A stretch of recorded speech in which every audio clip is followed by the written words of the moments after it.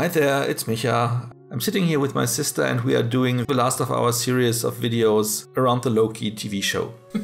Hi guys. Okay, as usual, we start with the big question How did you like this episode and what are your favorite scenes? How would you rate it? Mm, I give it a 9.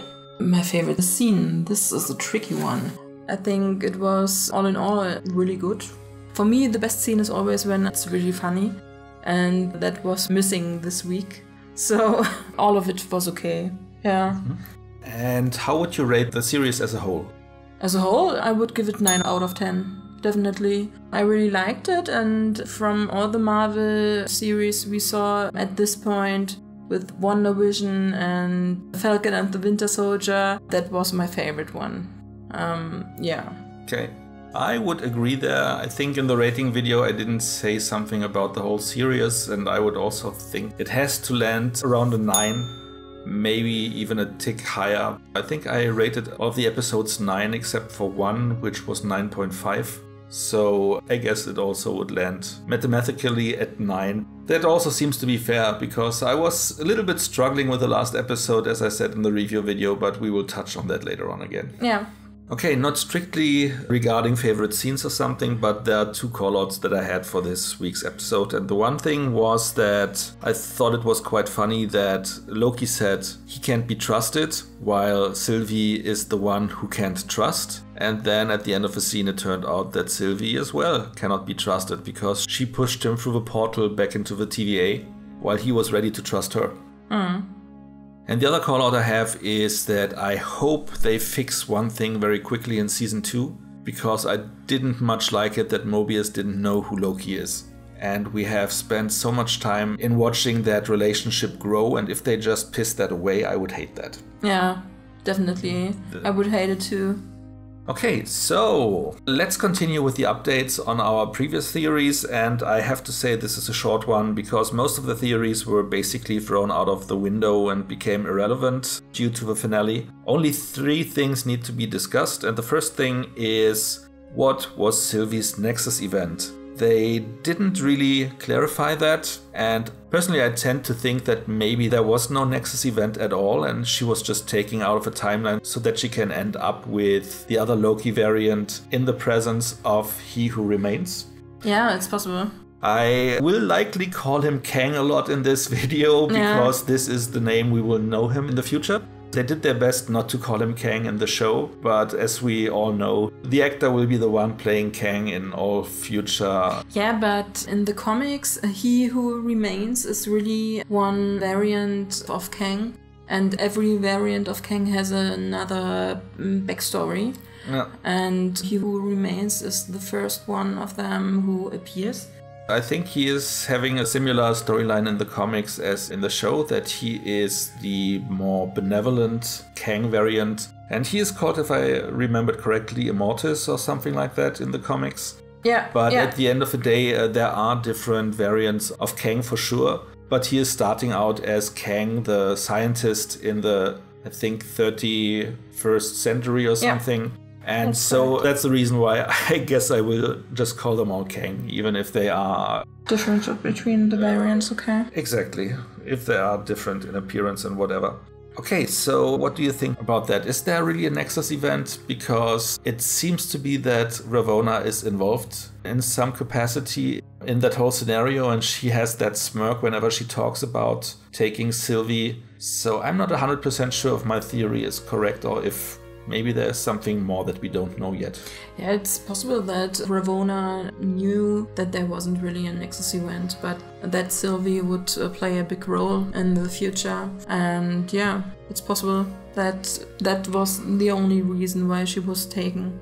Okay, another thing that we can pick up is the question around Miss Minutes. So, of course, we all said, hey, Miss Minutes is just an in between and nothing more. I guess she still is just an in between, but between Kang or He Who Remains mm-hmm. and the TVA. But she at least looked a little bit more sinister this week, and she looked a Yeah. little bit more like having an own agenda as well. Mm-hmm. She at least seems to have an own will because He Who Remains says, Hey, she is still calling me He Who Remains? Okay, I like it. And that tells us that at least she is an artificial intelligence, or Yeah. maybe even more. Yeah. Maybe a sentient being that was just put in place there. I think she's kind of a technology from the 31st century, which we can't quite understand yet. How she works and what she is and so on. Uh, we cannot forget, or we should not forget, that Kang has access to technology Yeah. from each period of time. And what I heard in the internet in one video, someone said that Miss Minutes basically is the advanced version of Jarvis Ah, okay. to a certain see. Mm-hmm. point, so that the technology behind Jarvis was created and enhanced, and she is the highest form we have seen yet. Mm-hmm. And the third thing, of course, is, and we already touched on that, we were, at least with that one, spot on that Kang is behind it all. Yeah. Even though it is a different iteration, as we just said. But uh, interesting there is that Angie said in one of the Easter eggs last week that in the comics, Alioth, this cloud monster, is one of the arch enemies of Kang. And here it seems to be different. Here he was harnessing the power of Alioth to Yeah. help get where he is, basically. Mm-hmm. So, as you can see, the comics are always a nice source for Easter eggs and information, but the MCU almost always goes some kind of different ways Yeah. with it. That's right. Okay, next up, maybe have a quick roundup around our final prediction last week. And we were, I guess, completely off, except for the Kang angle. But at least both of them are still alive, so that's a good thing. Uh, they are not being put on the timeline yet, but that might happen in season two. We will see. I predicted that this will be a standalone story in season two and will have nothing to do with the TVA. I was Yeah. I guess I was completely wrong with that. But as a segue here into the open questions and theories that we want to talk about today, do we think Sylvie really is alive? I mean, we basically got a little bit spoiled by the fact that she is already listed in the credits for season two. That was announced already. But otherwise, we couldn't be sure that she really is alive because a lot of things changed. And Yeah, but she was in the Citadel at the end of time. Hmm. And there, nothing changes. And I think, It's it could. We don't know. I mean, we see that Loki is seeing a different iteration of yeah, Kang, but, and so but I mean in the Citadel itself. And Sylvie was last seen in it, and mm. we didn't see how or if she's leaving it. Uh, I mean, if we look at how they, up to that point, described how time traveling and how the flow of time mm-hmm. works in the MCU, mm-hmm. then you would be right because the present can never be changed. Mm-hmm. So her present at that point is that she killed He Who Remained. Yeah. So she could either stay there until the end of time or jump back to another point in time, which should also, in theory, not have changed except for if it is a different reality Yeah. in theory. And you can already see that is the stuff that I struggled a little bit with. I tried to understand a lot of those implications. And I had a lot of ideas, and a lot of things made sense, other things didn't make sense. And maybe I touch on that a little bit in this video. But I guess, and that is my final thought on that when I reached the end of my thought process, that likely we are not supposed to understand it all at this Yeah. point. We will understand that in the future, we will see all the implications once Yeah. they turn up and we can just rack our brain all that we want at this point but we will not get any uh, Yeah, I think so too. any more details Yeah. okay the next thing to talk about is the definition of nexus events as they were shown to us in the show and I think they did a very nice explanation without really spelling it out for us. But as He Who Remains said, basically everything that would lead, as far as I understand, everything that would lead to one of the other variants of Kang mm-hmm. to reach power or to strike out, everything that would create a timeline where another Kang might challenge him would be a Nexus event. Yeah, that's, So that's how. I understand it too. Exactly. So it will be interesting to see if they explain how Loki getting the Tesseract, how Sylvie just playing with her toys would challenge that. But ultimately, I guess thinking about that, that's actually exactly the explanation, right? So he who remained was laying out the path for them to reach him. Mm-hmm. And that for sure would be something that might create a scenario like we see mm-hmm. as Sylvie killed him, a scenario where other Kangs might emerge. So that they both being in existence and following that path might be a Nexus event is then correct, but it is a Nexus event that he planned to Yeah. happen because he wanted them there. Yeah. It still doesn't really 100% explains why they took Sylvie at that point in time. Mm-hmm. But they needed to put Sylvie on a path where she landed there, so maybe that's the explanation. Interesting. Mm. Okay, one big thing for me was did that show now changed our perception of the sacred timeline? Like we just said before, everything that would create another Kang variant that might take over is a Nexus event. And he tried to streamline everything so that that doesn't happen. So that is mm-hmm. this sacred timeline. So there are an infinite number of different universes or parallel realities in which all different things might happen and everything can be completely different. The only thing that really made them shape into this sacred timeline is that they don't allow another Kang to emerge. Yeah. Where I was struggling a little bit is that a lot of people in the internet thought that all the different realities were just forced into one reality. Merged into one. Yeah. That wouldn't make any sense. How would you merge two timelines or two realities? There hmm. would be some people double and triple and Yeah, or they, they would have been erased, but Yeah. then there couldn't have been an old Loki as a variant because this reality still would exist and they just took him from the timeline because he did something that he wasn't supposed to, Yeah.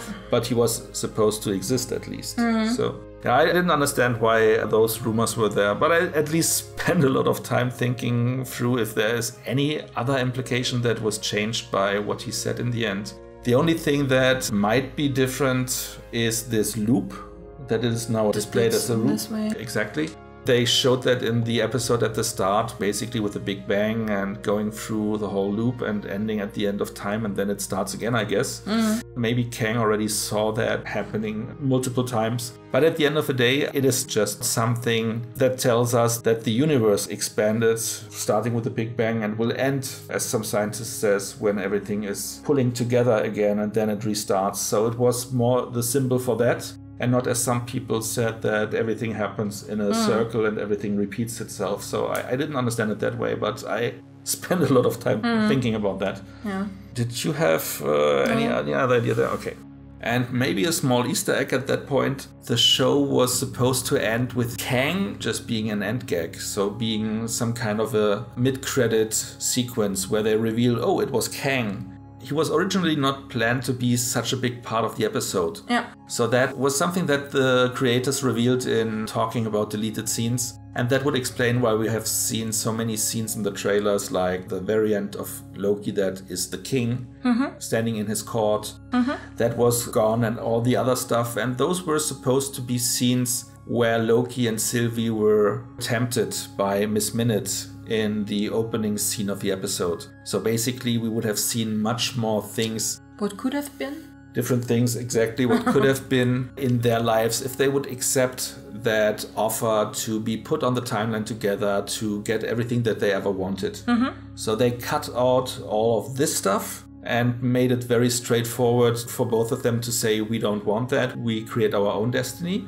Which I think is fitting quite well into the scenario we have. The other thing would have also worked, but I guess at the end of the day, it's more interesting to have Kang explaining all this stuff. And it was a very intense scene and very well acted scene, so I really enjoyed him being there. And without him, I don't know if I would have liked this finale as much as I did. Yeah, I don't know. I could understand Loki if he would have taken the chance to make different choices and to be put back in a place where his mother would be alive.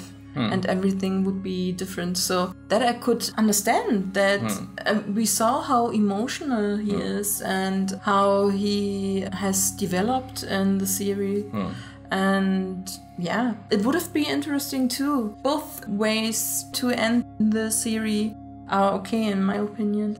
It would have been interesting to see how they would have ended it the other way around. If Kang would have been an end gag only, then what would have happened? Because now the big change is we have a different iteration of Kang. Everyone forgetting about who Loki actually is. We have He Who Remains being dead. If he would have been just uh, presented as an end gag, we might have only learned about what happened in the next season. So it would have been interesting to know what would have been different in the complete ending of a serial uh, season. Yeah. But one thing, though, about Kang as He Who Remains that I was a little bit baffled about was the fact that he knows exactly what happens. He knows how they would react. He could even program his time pad to jump when they try to kill him. But then there was a point in time which, from a storytelling standpoint, I find interesting the point which he called the threshold, Yeah. After which he doesn't know anymore what happens. But I didn't really saw a logical explanation for that. Why would he all of a sudden be not able to see what happens Yeah, from that point forward? Maybe because that was a point when someone else would take his place. Maybe in what way ever. Hmm. And maybe that was the reason he wasn't able to look behind it or to see what, what really Hmm. happened. Or maybe he just didn't want to and Yeah, made it like this. it's possible too. So that he also has a little bit of thrill. Yeah. Maybe he just didn't want to know if he would Yeah. get killed or not. Yeah, and he said before that he lived a long, long life and that he was very much older than Hmm. he appeared. And I think he didn't want to do it anymore. Hmm. And so he was active searching for someone, someone who was replacing him. Hmm. For him, it didn't make a difference if he would be dead or. Yeah, where would he go if he wouldn't been killed? I don't know. I have no idea. Yeah. He could go anywhere in time as long as he doesn't influence anything. Or maybe he would have died naturally because he was Maybe. millennia old or something like Yeah. that. And he would dribble into dust or something Uh, like they, that. they didn't explain really why he could live that long, if that Yeah. was being his powers harnessing by Alioth, living at the end of time or whatever. Yeah, So or if was- the Citadel of Time uh, at the end of time had something to do with it or something like that. Yeah, we don't know. Okay. One thing we can really just speculate about is we see that everything changed in the TVA, and the TVA is something that exists, as we were told, outside of time, outside of the reality that everyone is living in. Yeah, but we don't know how. We don't know how that's true, but do we expect, and that is something I guess everyone is theorizing about now, does that also mean that the history of the MCU might change? Because some theories, of course, are going around saying, hey, that is the perfect opportunity to bring in the X Men, to bring in Deadpool and stuff Yeah, like that. But do we really think that that happens? I don't know. At this point, I think only the TVA changed. Maybe it's kind of a reset. We saw, instead of the timekeepers, we saw a statue of Kang in the background. And we really don't know uh, how long the TVA existed, how time's changing there, and how it all works. And I don't know how old, for example, Ravonna is. I think she mentioned, and a lot of people took that literally, that she said to Mobius, We have a friendship that went on for eons, that means for more than thousands of years. Yeah, and that's what I mean. I really don't know how it works for real. Mm. And it's all just theories, and I think it's only the TVA that's for now impacted, and we will see what happens in the next season.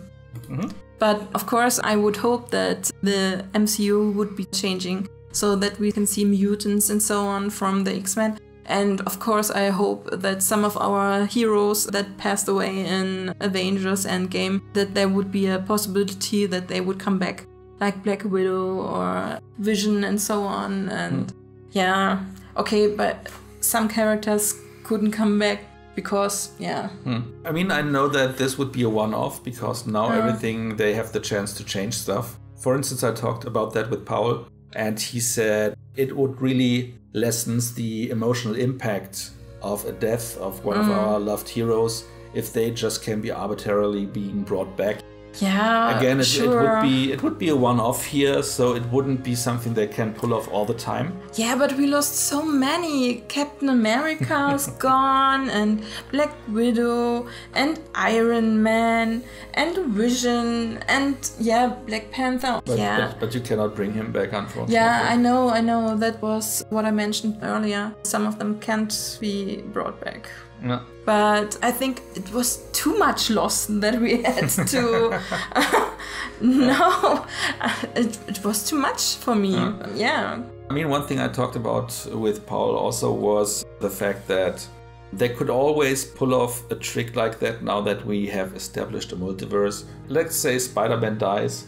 then you just take him from five minutes before from the timeline. Yeah. You put him back there. You would then create a new universe, a new reality at that point where you take him, and mm-hmm. they would not have a Spider Man as well, but you would mm-hmm. have them in the main timeline again. Mm-hmm. But this trick for sure then would completely diminish the effect of anything that could happen to them because you you would just not trust them that this is a permanent thing. Yeah, okay, but But again, you know, they, they They could could take the chance to at least fix the stuff they want to fix right now. Yeah. One time and one time only. I want Vision back. But then they Vision is still alive. He- Yeah, it's, but, it's but the real let us- body and he has the real memories still. They are just hidden. They just need to and- reactivate and, Black them. Widow, I don't know why. always Oh, I want Black Widow back. We saw the movie Black Widow. yeah, hmm. some days ago, and I really liked it, and it's sad. I hoped at the end. Okay, no spoilers, no spoilers, guys. So sorry, I won't uh, any more. But yeah, Yeah, at the end, I was hoping for something that didn't came, and I was a little bit disappointed. And so yeah. I mean, for Black Widow, at the end of the day, you cannot even give any spoilers. Everyone knows that she survived it, and everyone knows that in Endgame she dies. so, uh, so there is no surprise there. The movie itself was quite nice, but what disappointed me a little bit was maybe a small spoiler that I was expecting something that at least opens a door to bring her back. yeah, And they didn't show anything in that Yeah. regards. But now in Loki they did that, and now they could basically, as you said, bring everyone back. But we will see what happens there. yeah. But what I wanted to say is what we have learned so far in Endgame and the Endgame time travel rules were you cannot change the present. Mm-hmm. If you are traveling back in time, then everything that you are changing there would create a new reality, a new timeline, and it would become your past. If you travel to the future, that would become your past because everything happened in a chronological order regarding what you do and where you jump to. Uh, timeline, time travel It's- is all a little bit. it's a little bit different in the MCU. So that's why I think that in theory, if everything we have seen so far in the MCU is one timeline, yeah. in theory, nothing should change by this branching out of the sacred timeline. Because we have seen one timeline that now as a web might be a completely weird shape. But if you just put it down as one timeline, it still would be a timeline Yeah. it would still work like that. And again, in theory, nothing should have changed because that is the timeline that we are looking at. But the big question is do we stick with that one timeline or now with introducing the multiverse, with Doctor Strange coming up? Yeah. Do we embrace the fact that there are more stories to be told and more universes to look at? And I guess in What If in the show, for sure, we will see some stuff from other universes. But I'm really interested in seeing how that plays out because for me personally, and that's the same with the DC TV shows that also did the trick with all those Earths just being put into one big Earth and everything is merging. For me, it was that way that only the reality that our main heroes are living in are really relevant. And that is the real world for me. So if they now start to create stories where other realities are shown,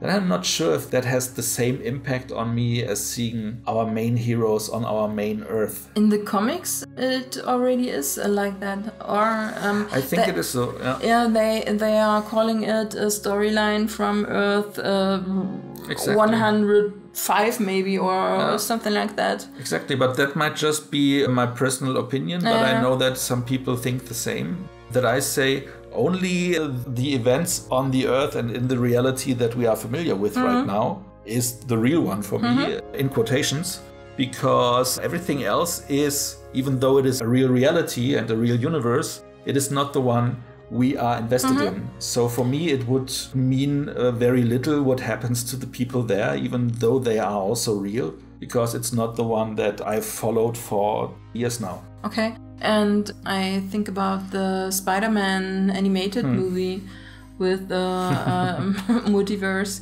with, how was his name? Morales?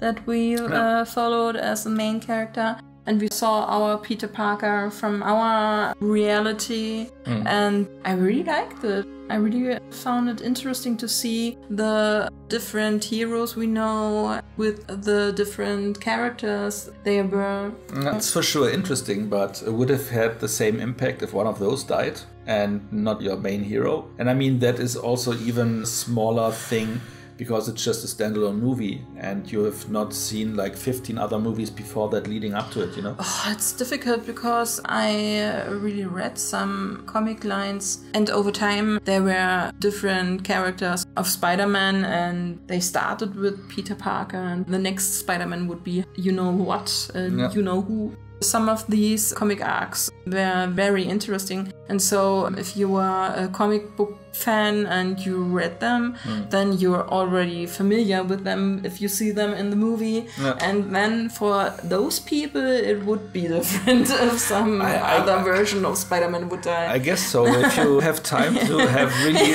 read all that stuff, then I guess you are a lot more invested than myself. That's for sure. But again, for me, as mainly watching the movies and just having read a handful of comics, yeah. I'm invested in that one reality, and the rest That- just didn't feel that real. And I'm mm-hmm. interested in seeing if they make it more real, if that is even the plan. You know, Yeah. so maybe they also shut everything down. Maybe they do the same trick as Yeah. DC and just say, "Hey, now let's just merge everything into one timeline." Yeah. I don't know. I, I think they cannot do that because then they would have let everyone else die Mm-hmm. and just pick and choose the ones they want to have on their timeline. Mm-hmm. But they might do, and that is leading into another Easter egg. They might do something where they at least change some of it and bring some of the characters from other realities into our. That they maybe let them bleed over with some explanation. I don't know if that is the right way to do it and if I like it, but it would make sense again to bring in Deadpool and the X Men like that. Yeah. And the Easter egg I mentioned is why a lot of people think that way is that in the final episode they had a lot of those golden veins running mm-hmm. through the citadel mm-hmm. and it was basically present everywhere even in the small representation of he who remains when he was standing as a small figurine Yeah. and they had the sacred timeline around there so everywhere were those golden strings those golden lines which according to one video i saw is a hint to a japanese form of art to repair stuff so basically, something that is broken can be repaired by using gold and making it stronger than it was before. Okay. So I hope I'm quoting that correctly. I haven't researched it, so sorry if that is wrong, but that is what I heard there. And that way they could explain that as a foreshadowing that they say they take the characters they want to make the whole reality we have stronger to build them in uh, Okay. that way. If that works like that, how they would do it, we will see. But that is a big theory that is out there. As long as I see some of the dead heroes back in our timeline again, everything is fine for me. Let's maybe jump into another quick Easter egg, and that is something I only noticed on the second viewing. You only watched it once, right? yeah. Okay. So uh, you are forgiven if you haven't noticed this as well. So I was wondering how they know where Ravonna as a real person was residing, and they were in a high school and they found her there, And she was a teacher or the um, the principal. principal of the school, yeah. Uh, I was wondering at that moment, how did Hunter B15 know to go there? Have you seen the explanation why No. No, that that was explained very sneakily because Mobius has seen in some previous episodes that she was using a pen from that high school. Yeah, I remember. And then when they showed the high school, they even showed a big glass full of those pens. yeah, yeah, yeah. And then uh, when I saw that the second time around, I was like, hey, that's the reason.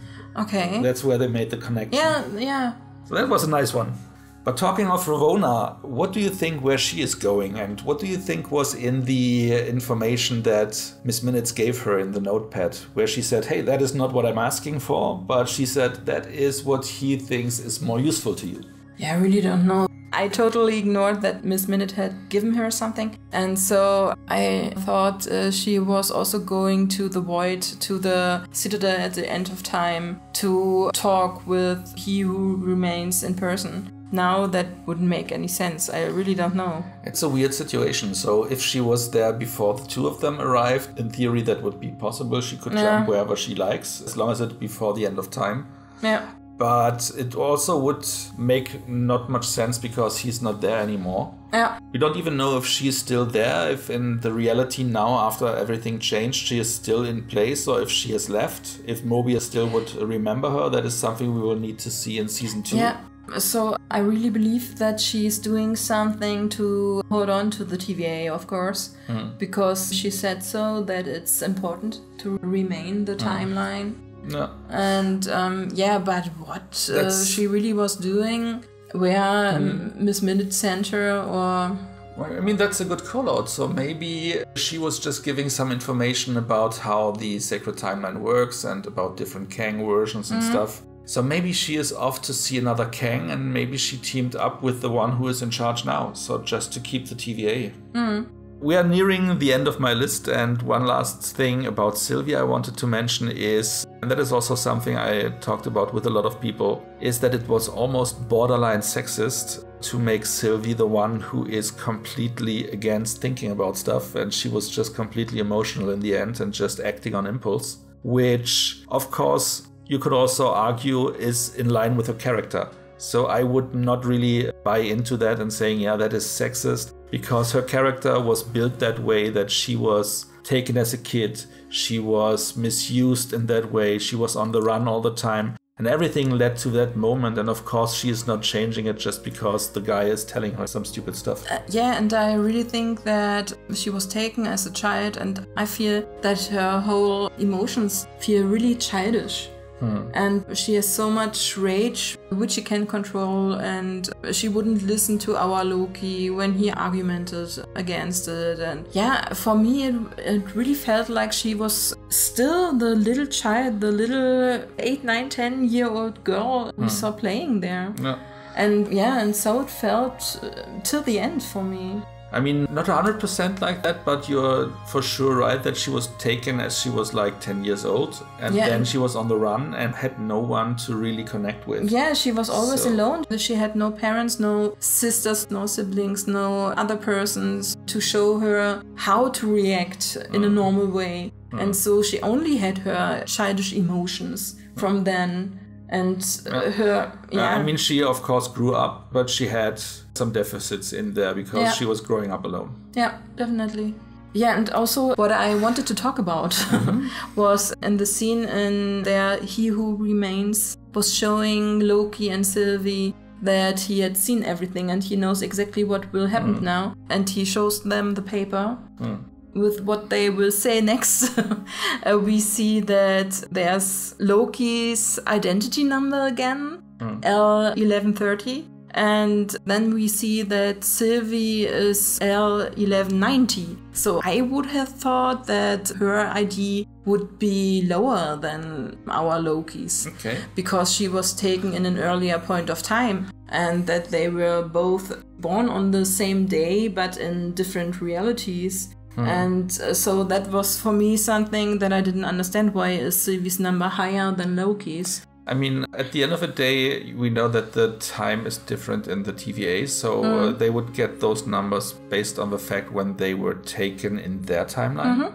And there you are then right that she was taken earlier, but she was never processed. Mm-hmm. Okay, So maybe she just got that number after she was okay. caught at the end of the show, so then Yeah, it yeah, would be after our Okay. Loki was taken. yeah, okay, that makes sense. Okay, But yeah. it's an interesting thing if they even talk about those numbers or if the numbers end up just to be some references to comics again. Yeah, and that would also mean for me that the L really stand for Loki variants, because if it would be the theory about the first names uh, with the other employees of the TVA, with Hunter B15 and C20, I thought their first name started with C and B. And yeah, so that would for me mean that there really were so many variants of Loki. Either that or that the TVA staff is quite small. but if we remember the scene where Loki looked out of the window, there was so much going on. There was so much vehicles flying Yeah. around. So that needed to be a very large city so that even if you have every letter with a 1000 Mm-hmm. variants behind it, it would still be quite little. But Yeah. we will see if they even touch on that in the next season. Okay, so I only have one more question on my notepad. And it's quite a stupid question, but I saw the episode like three times. The first time, of course, is to enjoy the episode. The second time is to do some notes for the review. And the third one is to just create some questions for our video. Mm-hmm. And on that view, I noticed that these miniature Kangs that were fighting against each mm-hmm. other. And before I continue, I know there was something regarding the multiple Kangs you wanted to mention, right? Yeah, the only thing I wanted to mention was that it's normal for Kangs in the comic to team up and create chaos or something together, what our Lokis wouldn't do normally, normally. And yeah, and also there are so many variants of Kang, and every variant has another background story. So we have, uh, for example, Victor Timely or Pharaoh uh, Ramatut and Blue Man and so on, uh, all that are all Kang characters or King of Kings or Master of Men and Lord, Lord of the Seven Suns and so on. Yeah, there are so many Kangs. sometimes they work with each other, sometimes they are good, sometimes they are bad. yeah, yeah, definitely. Sometimes they change course and whatever. Yeah.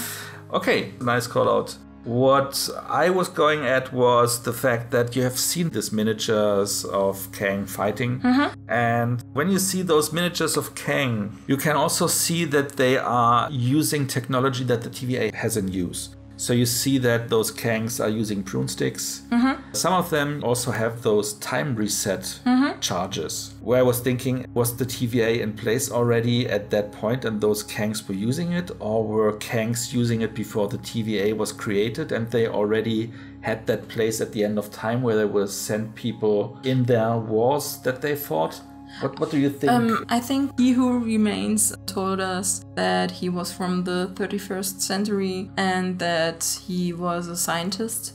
And they had really great inventions there and that he found out that there were other realities and that they exchanged their knowledge. Mm-hmm. And so I would think that until the first one started to think, hey, I must conquer them all, I must be the king of all realms, that, yeah, I think the technology was first. And then he who remains used this technology mm. for the TVA. So you would also think that they already had the technology to send people to the end of time Yeah. to just erase complete realities Yeah. that way, and they might have used that in Yeah. those wars. Yeah, I really think so.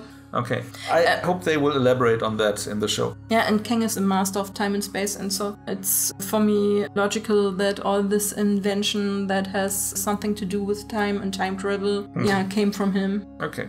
So, do you have anything else? No, that was all on my list. Okay. So then we are nearing the end of this video, and it was a very, very entertaining season. Yeah, I really Uh, liked it. The last show, as I mentioned before, was a little bit tough for me because I really spent too much time thinking about it. And I also said in the review video that would I have just rated it right away from what I felt in my stomach, it would have not been 9 out of 10 for the last episode. It was the right thing to do, I guess, going that way, but it felt wrong because you felt a little bit disappointed that they don't stay together, that she betrayed him. But just because it wasn't a happy end doesn't mean it wasn't a good end. It was uh, very Or a solid. thing. exactly. Okay, so we are interested in seeing what the next season will Yeah, bring. yeah. And for sure, what the impact on the MCU is, Yeah. which we cannot see right now, and which might mean everything as we discussed in this video today. I'm really excited to see the movie Doctor Strange and the Multiverse. I'm interested also. I, I don't know even if it is before Doctor Strange or after the Ant Man movie, where Kang is playing a very big Mm-hmm. Yeah, role. really don't know. But ultimately, yeah, so even what if the next series could be something Yeah. that is now more important than we thought before. Yeah. Okay, so let's bring it to the end. If you have some comments regarding what we said, please let us know in the comments. But what I want to say now in the end is that my sister and I we talked a lot about that stuff and we we thought that we want to dedicate this series of videos we did for Loki to our father who recently passed away. And in the beginning I was a little bit against it because I like to do those videos and I really put a lot of myself in it. But it is not something where I say, hey, it's worthy of be dedicated to him because he is much more than just just a side note in a video, but my sister and I, we did so much work on those videos and we enjoyed it. And it is the first series of videos we did together. And my father was a big influence on us uh, in regards of being a movie buff. He at least sparked the, the interest in us. And he, he would have loved this show as he would loved all the, all the Marvel stuff he's missing now. So dedicated to you, Dad. Yeah, sorry. I can't speak right now. I miss you so much. I really love you and thank you for everything you taught us. Sorry, guys. Sorry, guys, it's hard for me to talk about it um, still. And I um, wanted to say that I really miss my dad, our dad, and I really love him. And he taught us so much. And yeah, he gave us so much, and he's really missed. Yeah, that's what I wanted to say. Okay. okay, so see you soon, guys. Bye. Bye.